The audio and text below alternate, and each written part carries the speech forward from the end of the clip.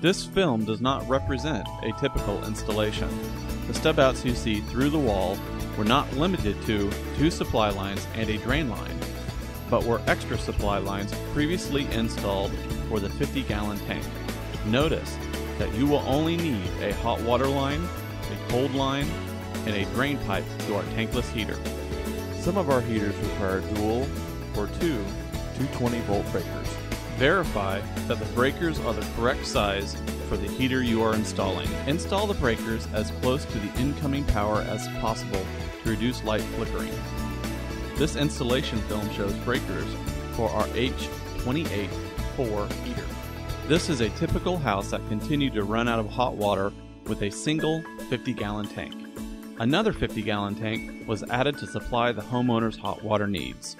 After shutting off the water supply, remove the old tanks and prepare the wall for the new, small, efficient tankless heater. Find the ideal spot for the heater. Measure and locate the position for the new heater. Locate the studs in the wall and mark for tankless heater location.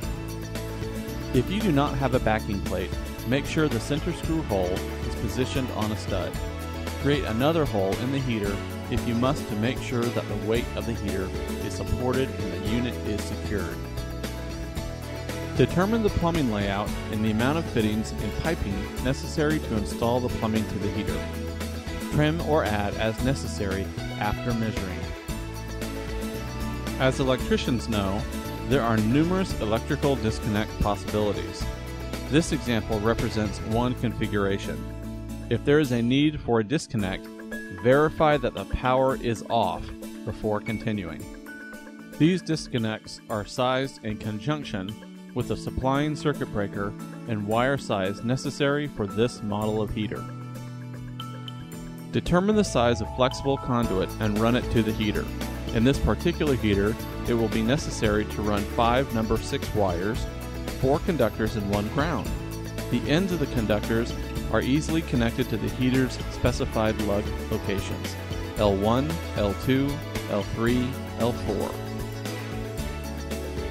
No internal wiring is necessary. Connect the four conductors and one ground wire to lug locations.